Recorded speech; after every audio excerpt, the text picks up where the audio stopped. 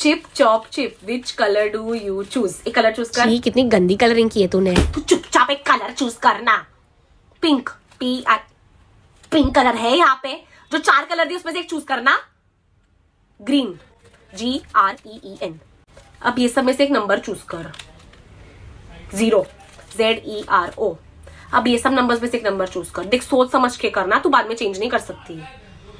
six lock कर दू confirm